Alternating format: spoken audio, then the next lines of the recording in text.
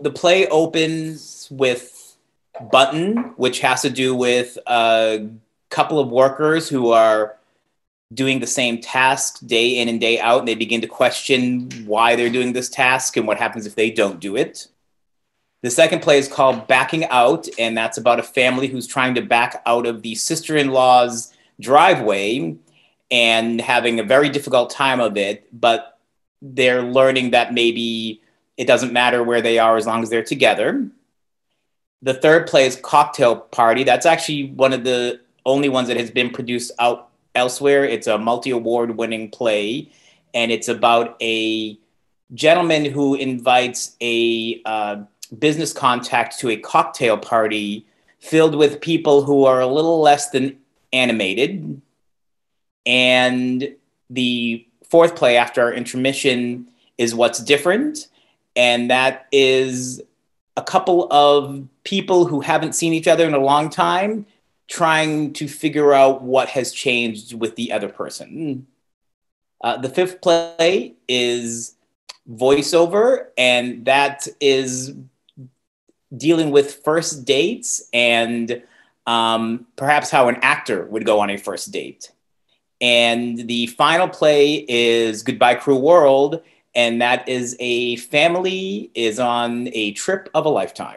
I'd say the main reason people should come see Hello World is first and foremost, it's a fundraiser. We're trying to save the theaters in the North Hollywood Arts District.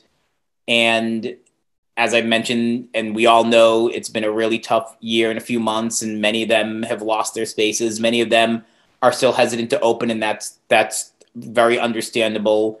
So first and foremost, it's to help theaters as as much as we can. Secondly, it's just to remember that you know theater is a thing to experience, and it's a place that we can go and, and be safe and with both our you know our emotions and our feelings and to uh, be able to express ourselves and to watch somebody else express ourselves. And I think the other big reason why people should go see Hello World is because these actors have worked very hard to bring something to life and they waited like a year and a half. This is more than a kid at Christmas time to be able to get back on stage and do their art. And the directors have just had probably visions bottled up for so long that they're now able to share on stage. And, you know, we writers are a little lucky because plague or no plague, we're always writing, we're always creating. And yes, we do want our stuff realized, but we're okay waiting a little bit, especially us writers who submit all the time. It might be years before something we wrote gets realized on stage. But actors, their their job is to act, and as great as Zoom has been as the filler, there's nothing better for them to be on stage doing their craft. And you can just tell from the reviews that we've gotten, these actors are just so happy to be back that the energy they're exuding is is infectious. I'm Thomas J. Misuraca, and if you would like to come see Hello World, a night of my one acts, come check us out at the Brickhouse Theater in North Hollywood.